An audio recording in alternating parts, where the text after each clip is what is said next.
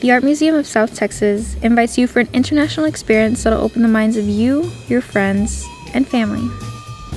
The World of Art here at AMST offers a variety of educational programs and classes, exhibitions, and public events for residents and visitors of South Texas.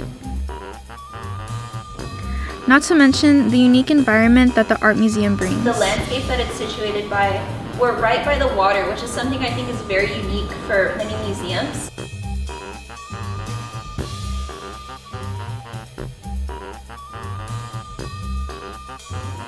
Not only do we bring national and regional art to the museum, we seek out the diversity through the appreciation of art.